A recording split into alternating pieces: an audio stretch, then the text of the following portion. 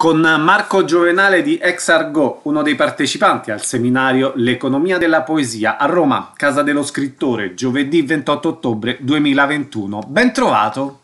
Grazie Federico di questa nuova ospitalità. Partiamo dalla realtà Exargo, raccontala a chi ci ascolta. È una sorta di gruppo informale nato più di dieci anni fa, che poi ha avuto varie trasformazioni, movimenti interni nel tempo, a cui in effetti io comunque mi sento uh, di partecipare come appunto organizzatore nel tempo di, di tante iniziative, soprattutto legate alla poesia, alla scrittura, anche alla prosa in realtà, e in particolare con un'inclinazione accentuata verso la sperimentazione letteraria, anche se nel tempo eh, di molto altro anche ci siamo occupati.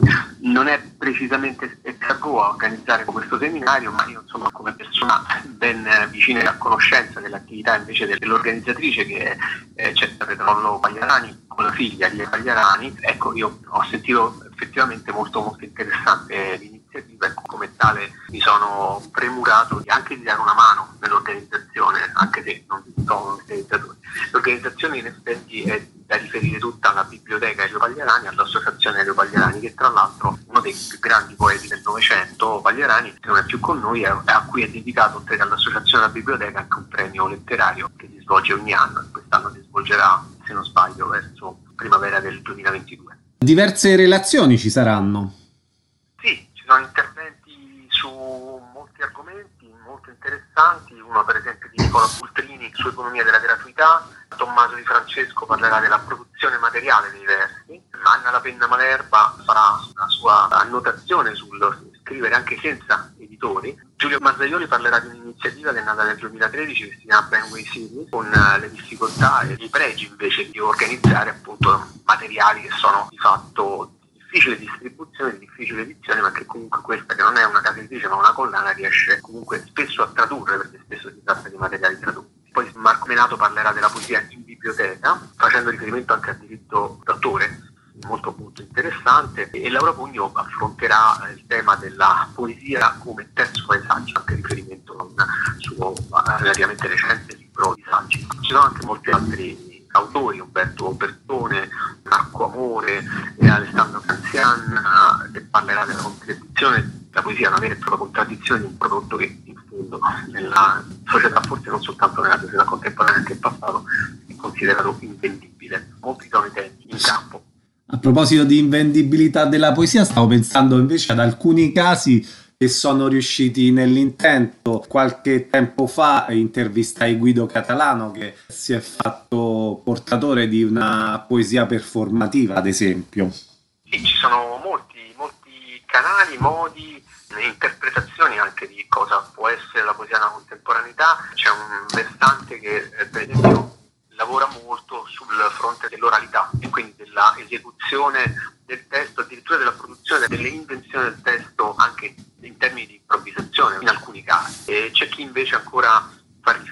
riferimento alla pagina scritta, spesso non soltanto in rete, anzi quasi per nulla in rete, privilegia invece la pagina scritta, la pagina organizzata quotidianamente.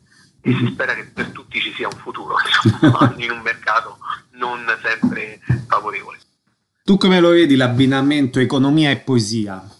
Estremamente pertinente, questo anche un po' mi è interessato da subito quando Cetta Petrollo mi ha voluto gentilmente invitare perché in qualche maniera c'è una prossimità di fondo tra economia ed estetica, cioè il mondo appunto di ciò che produce senso e ciò che produce valore sono due mondi che in qualche maniera condividono appunto anche dei termini, il produrre, produrre senso, produrre valore, il valore, il valore aggiunto. Ci sono delle affinità l'unica cosa che chiaramente le distingue è che nel campo dell'economia la matematica l'ha fatta padrone, mentre la cosa bella della poesia che ha fatto da padrone è la gratuità, che è parte del titolo appunto dell'intervento di Puttrini, economia della gratuità, una sorta di ossimoro.